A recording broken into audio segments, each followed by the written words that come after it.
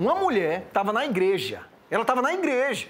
Ela saiu. Estava indo para casa. Isso foi na bomba do Ametério. Quando de repente atingida por uma bala. Tinha nada a ver com a história. A vítima não era o alvo dos disparos, mas foi atingida enquanto aguardava para comer um lanche depois de ter ido na igreja. Meu Deus do céu. Acompanhe a reportagem.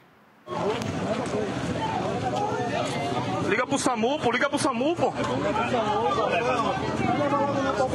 O vídeo feito de celular mostra a senhora caída próximo à barraca de pastel e os moradores da área preocupados em ajudá-la. Cemitério agora, Largo da Bomba.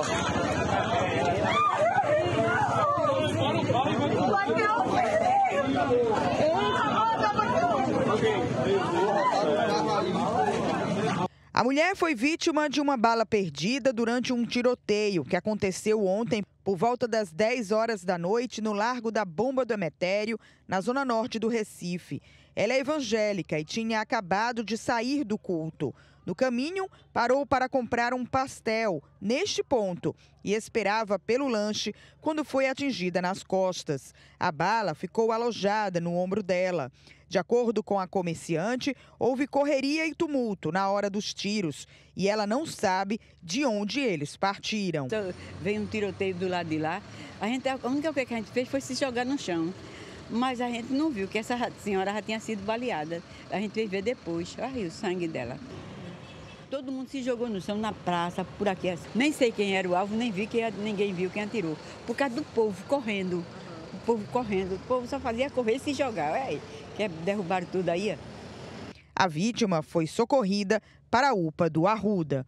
Como é que ela está, a senhora sabe? Ela, segundo me informar, informaram, é que ela, ela vai operar, né?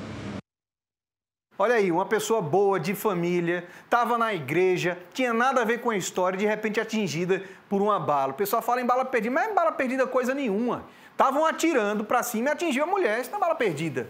Muita gente fala em bala perdida, mas não é bala perdida. Foi uma troca de tiros, bandidos, no meio da rua atingiram uma mulher. Uma mulher que estava rezando ou orando, dependendo da, da religião, esperando para comer o lanche é baleada. Pelo amor de Deus. Espero que a gente possa trazer aqui o anúncio da prisão dessa, dessas pessoas envolvidas.